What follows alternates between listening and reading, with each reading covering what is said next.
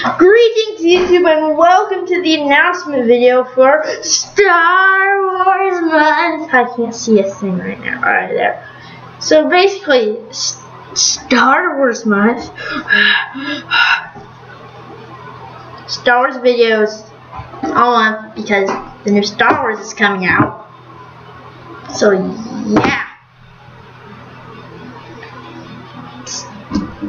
That's about it there will still be non-Star Wars videos, and yeah.